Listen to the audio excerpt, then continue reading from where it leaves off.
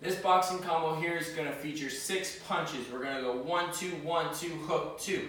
As you perform the combo, you're gonna set up in your boxing stance, front foot at one, back foot at three, hands up at all times. It's one, two, one, two, hook, two. Six punches, nice and quickly. In real time, it's gonna look like one, two, one, two, hook, two. Reset. One, two, one, two, hook, two as you're performing the combo, you always want to make sure with any type of boxing combo, you're moving through So don't just go one, two, one, two, hook, two. Make sure that those hips are moving so you can get the proper power as you perform the exercise and get your core engaged as well.